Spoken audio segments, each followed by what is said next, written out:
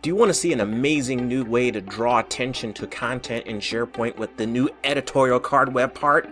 If so, then stick around. I'm a SharePoint expert, play with data extra. Careful with my hands, cause I gotta use them for work. Yeah, I'm a big old nerd.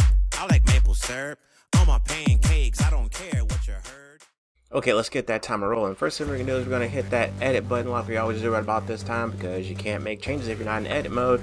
We're gonna pop off a new section here. We're gonna go in here and add a new web part. We're gonna find that editorial card and we're gonna be like, oh, category name, be like, oh my gosh. And we're gonna be like, new stuff coming soon. And then we're gonna be like, I can't believe it and then you're going to learn more. You click here, but you don't see anything. Now you got to go to settings or edit the properties. We're going to go down here into the URL for the button. We're going to smackety smack that in there, and then we're going to hit republish, and then bam, you just did it. You got a little linky link. You click on it, and boom, you are in business. Okay, pretty pretty straightforward. You got this awesome editorial card. It's a way to highlight your content and be able to push people to whatever URL you want to direct them to. So let's break it down a little bit. And before we do that, please like, share, subscribe. We appreciate you. We're almost at 4,000 subscribers and everything that you do with the watching and the comments really helps grow the channel. Thank you in advance. All right, so let's break it down. And we're going to go in here and let's just examine maybe, here's another example that is uh, already been done up for you here. So we can go in and we're going to edit this one to take a look at all the different ways we can tweak this puppy. Um, and while I'm doing this in the comments, let me know what you are going to use this for. Uh, all right, so we got the little deal here. Uh, if you want to just, you know, click in right here, you got this field here. Um, this is where you put section name or category name. So these are just customizable um, and we'll show you all the different ways that you can make changes. So we'll say um, new music and then we click in here. Now with this part, this is like the main eye catcher and you can adjust this. You can change the sizing. Um, you can change whether it is a, you know, one of these headings or pull quotes or monospaced. I mean, you can just go nuts and just do all sorts of cool things. Whatever you like, you just do here. Um, it will adjust and flex, blah, blah, blah. Bold. So, you know, you got your full formatting stack here. You can just format to your heart's content.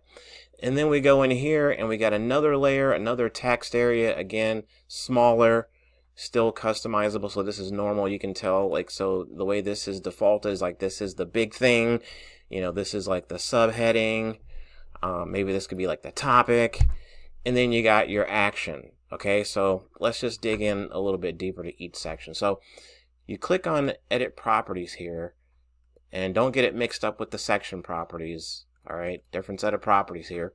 We go edit properties and let's take a look at the layout. Let's just uh, collapse this stuff here so we can see everything. So we got uh, layout, background content, accessibility. So let's go to layout.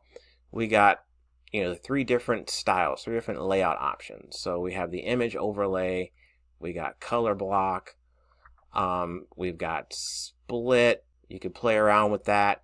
Uh, I think this would be a little bit better if there was no image there. I do believe we'll see. Um, we'll come back to this one. All right.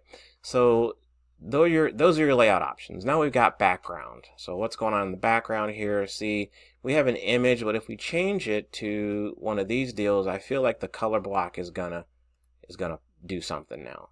Well, yeah, wow, it's fantastic. That's amazing. Well, there you go.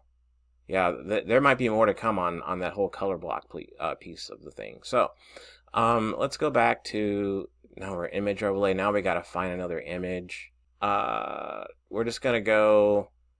We'll just play with content alignment. We we know that we can have an image back there. You get you get the idea.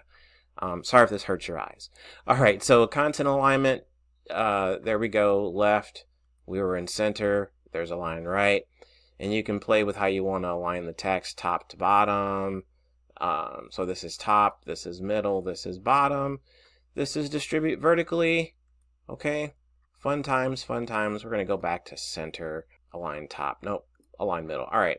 We play with the background. Yeah, you can do an image like we saw before. Um, and now we're into the content area here. Call to action. How do you want this link to work? Uh, you could say, I want a button. In that case, you can smack a link there and you can name the button however you want to name it. But maybe you want just an icon. There's your arrow icon. Or maybe, you know, you say, you know I want text. So now the text will be clickable. Or if you say, I want the entire card, then it's not going to say anything under here. And when you click anywhere on the card, it is going to bounce you to that URL.